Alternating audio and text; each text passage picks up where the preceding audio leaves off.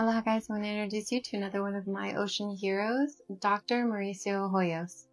Dr. Hoyos is a esteemed marine biologist. He's published more than 80 peer-reviewed papers. His research directly supported the creation of Revilla Archipelago National Park. He's co-founded initiatives to reduce shark deaths and advised on more than 70 documentaries.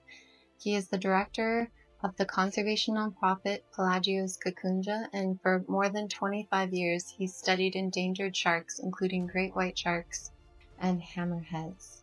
I have so much respect for him for doing more than 300 presentations, not just in professional symposiums, but also especially for volunteering going into inner city schools and inspiring kids, people in the community, educating fishermen who are diving in shark aggregation areas, literally helping to save their lives and the lives of sharks.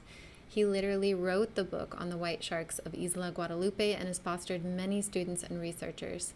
I learned so much from working under him while we conducted 24 hour plus white shark tracking. He taught me passive tagging methods and biopsy methods for genetics and stable isotope studies, specifics on white shark behavior, photo ID methods, and I remember many dives setting and retrieving receivers while being approached by white sharks at depth and midwater column. He's one of the hardest working scientists and conservationists I know and is so dedicated despite having to overcome so many challenges. He's accomplished so much. He's also a great diver with extensive experience interacting with large predatory species without a cage. And I really hope that you will support his nonprofit conservation and research efforts through Pelagios Kakunja. Thank you.